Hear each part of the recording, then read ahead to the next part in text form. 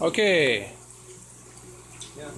I think we're recording right now. You can talk, It's a new phone, so I don't know for sure. talk to about this is the nursery.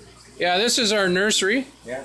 And you can see we've got some big ones, and I'm just going to pan around. There's a pile of aquariums here.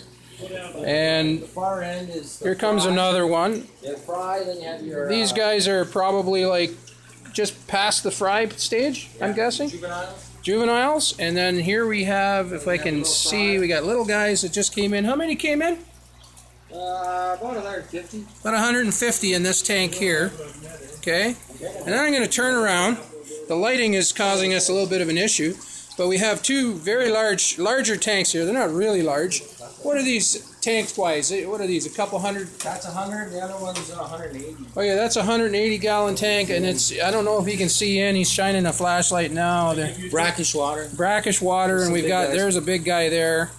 Uh, and so why why do we have these ones? What are, what's the reason for this? This is the full aquaponic setup. Okay, this is a The full. fish- This is an aquaponic setup. You can Yeah. see the uh, the blue Plant. lights there. That's lettuce growing, Uh, and, And tomatoes are over on this side, just behind that blue wall there. There's some tomatoes. Garlic chives. and garlic chives are in there and stuff. So the water from this tank, these two tanks, are being pumped into. I think Right right there, you can see it coming back in from the. That's from the flower or from the beds, the This- growing beds, this right? pumps up the dirty water, Yeah. and then the overflow in the bed brings it back on this pipe to the fish with clean with no ammonia. Right. And why is it brackish then? I'm just curious. Right, just from the uh, overall content of, of Picking up everything in the air. waste and Waste and water Dust, everything. yeah. Yeah. We're in a we're in like an old factory here. Just I'll pan around. You can see this is just an old factory, and it is old. anyway, so we've got a grow bed here, and these are uh, clay pellets that are pH neutral. Uh, you know, they're just pellets, and then you can see we just kind of cleared away. There's like the water you can see there, the level, the overflow right there you're looking at, and then there's water around it, and uh, this is where you're growing stuff. Uh, you can create all kinds of beds, and you know, I just tasted the lettuce, and it's gorgeous. It's just really, really good.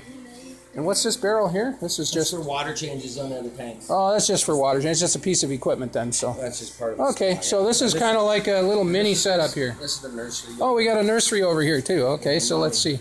Oh, a big mama. Okay, there she is. I see her. So what? Has she got a whole bunch of fish in her mouth or something? Oh, she's gone hiding in a pipe. Hiding, yeah.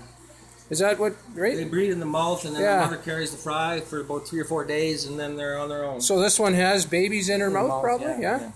So you, I you never see them, right? Or do they No, shoot she out? let them out. No, it's too dangerous now. Oh, she she- shakes and they go back in her mouth, Oh, really? and then she, they stay there until there's no danger. Oh, wow. That's that's interesting. Yeah, yeah. Okay, I'm going to turn off the recording.